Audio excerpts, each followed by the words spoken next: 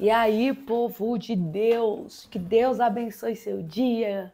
Mais um dia se iniciando na presença do Senhor, sem, ma sem make, né? Sem nada natural. Mas nós estamos aqui para pregoar a palavra do Senhor. Estou com a blusa do Decidi Me Curar. Você que é de Brasília, participe em um dos maiores eventos, que é o Decidi Me Curar aqui de Brasília, tá bom? Vai lá no meu Instagram, arroba Priscila Cavalcante OFC, e você vai saber o que eu estou falando. Minha gente, dá bastante vídeo aqui, dá, dá bastante like neste devocional para que outras pessoas possam ser edificadas através da sua curtida, porque você fazendo isso vai fazer o YouTube é, espalhar esse conteúdo na internet. Gente, eu tenho uma palavra de Deus para o seu coração, mas dá esse like aí para ajudar no nosso crescimento do canal. Se inscreva também no nosso canal, você que quer receber nossas orações, pregações da palavra, minhas explicações espirituais, enfim. Se inscreva e ative o sininho. É, Deus manda eu dizer para muitas pessoas: vai acontecer do jeito que Jesus falou. Eu estava ontem arrumando minhas coisas assim da, no meu quarto.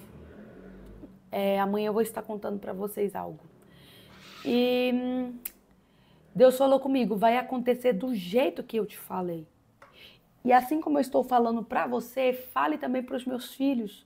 Porque tem muita gente que está desacreditado daquilo que eu tenho para fazer na vida dele, da vida dela delevou-se a candereva saia. Aí às vezes você até fala assim: ah, é grande demais o que eu sonho. Você, irmão, sonhar pequeno e sonhar grande dá o mesmo trabalho, então sonhe grande.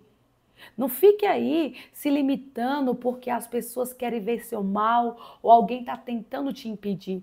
Eu quero falar sobre a história de Jairo. Jairo é, a Bíblia diz em Lucas capítulo 8, versículo 41 ao 56. Eu não quero ler o texto todo, depois você pode estar lendo. Conta a história de Jairo, o mestre da sinagoga.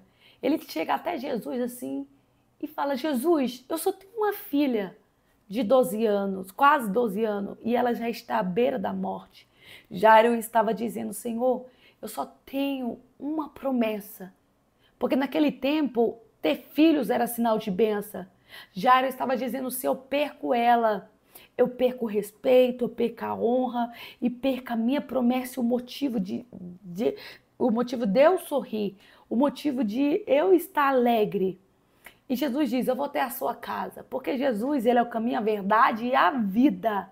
Só que no meio de tudo isso entra aquela história daquela mulher do fluxo de sangue, que eu não quero falar sobre ela e ali rouba a cena e a atenção de Jesus.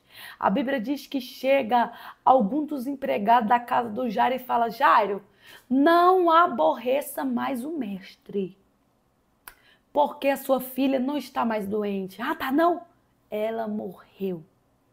Eu posso imaginar a cabeça do Jairo pensando: e agora? Então vou deixar o mestre para lá, não vou mais incomodar, vou fazer o funeral, porque quando chega na casa de Jairo já tem as carpinteiras. As carpinteiras são as mulheres que era paga para chorar no funeral. Só que quando Jesus chega, Jesus fala: Por que, que vocês estão chorando? A menina não está morta, ela apenas está dormindo. Jesus também vai falando: não tenha medo, tenha fé, ela ficará boa. Jesus estava dizendo para Jairo: Jairo, do jeito que eu te falei, é o que vai acontecer. Deleia cante que nevassuri bicanderevassaia.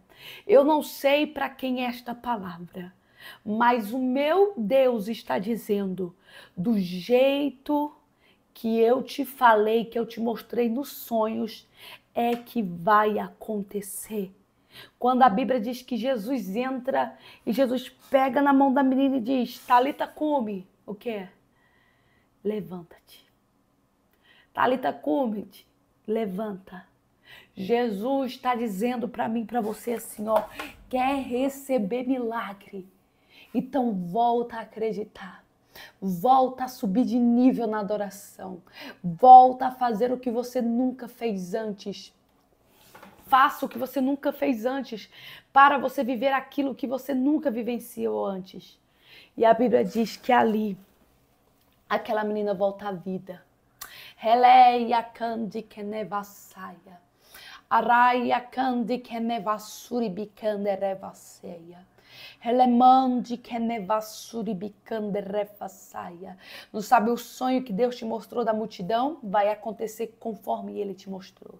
Sabe o sonho que Deus te mostrou? Você é, fazendo a faculdade de advocacia, você passando em concurso, você casando, vai acontecer conforme Deus falou. Porque Deus não é homem para que minta, nem filho do homem para que se arrependa. Por isso, irmão, espera no Senhor. Confia no Senhor. Tenha fé que tudo vai acontecer. Eu quero orar por você neste momento. Espírito Santo da verdade, começa a cobrir cada pessoa com teu sangue.